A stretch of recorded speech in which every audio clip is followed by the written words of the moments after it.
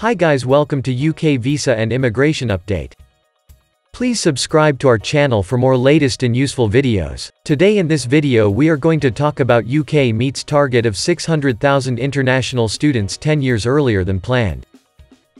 The United Kingdom has managed to meet its 600,000 international student target 10 years earlier than planned. The latest statistics by the Higher Education Statistics Agency, HESA have revealed.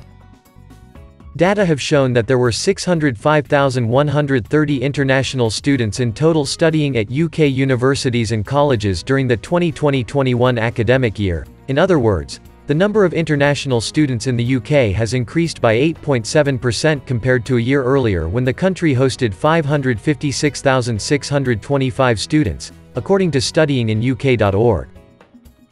Out of the total number of international students in the UK during 2020-21, 452,225 came from non-EU countries, and 152,905 from within the European Union. In general, the total number of all higher education students in the UK was 2,751,865 in 2020-21.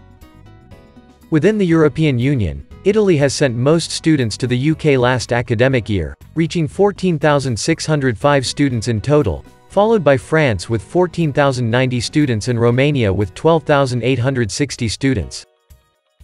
According to HESA, Scottish universities welcomed more students from Ireland than any other EU country, while for universities in England, Romania has replaced France for the second position in the number of students from the EU.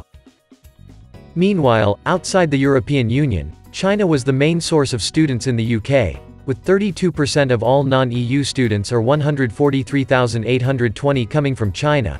According to data, the number of Chinese students in the UK has increased for 48,225 or by 50% between academic years 2016-17 and 2020-21.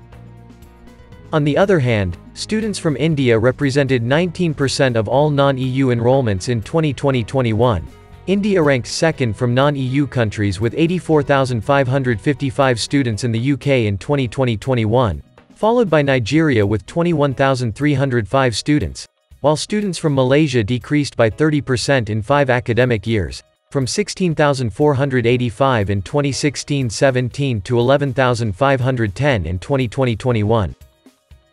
While the numbers of student enrollments from India are not as high as from China, there has been a notable increase of 67,660 over the five-year period.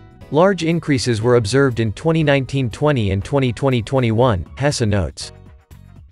Higher education institutions that have hosted the most international students at all study levels were University College London, hosted 23,360 international students.